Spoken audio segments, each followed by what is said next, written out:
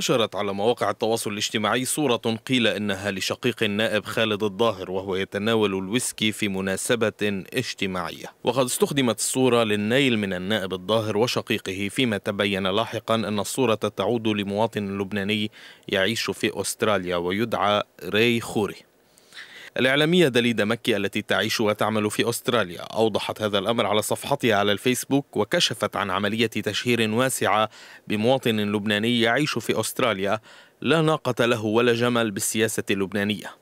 ذنبه الوحيد أنه يشبه خالد الظاهر. وهيدي الصورة توكتت آه، آه، بالعمادة يوم السبت بعمادة ابني آه، وانتشرت في حدا من الأشخاص اللي دائما بيتابعوا صفحتي الخاصة لأنه انعمل تاج لإلي أنا.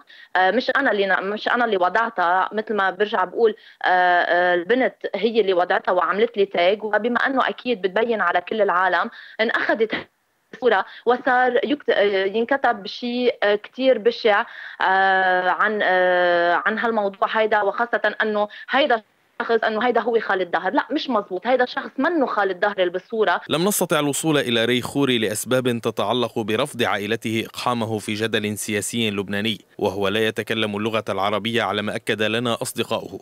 لكننا استطعنا الوصول إلى من كان يسكب له الويسكي في الصورة.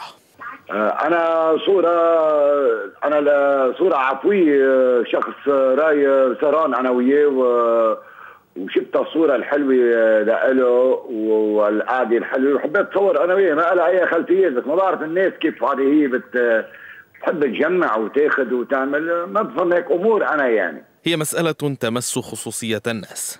حتى لو كان شقيق النائب الظاهر يتناول الويسكي فهذا أمر لا يستدعي أبدا التشهير به.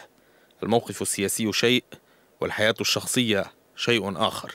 وانتهاك خصوصية الأشخاص في حيزهم الشخصي ثم التشهير بهم على ما شهدنا مع ريخوري جرم يعاقب عليه القانون لو كنا في دولة القانون.